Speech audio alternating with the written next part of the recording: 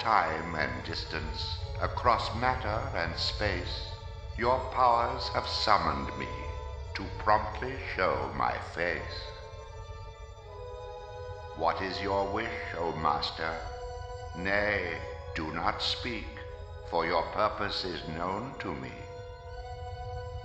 Lips red as the rose, hair black as ebony, skin white as snow.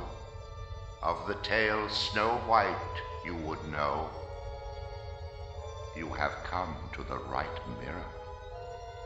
Behold, I present you with the one that started it all, and still the fairest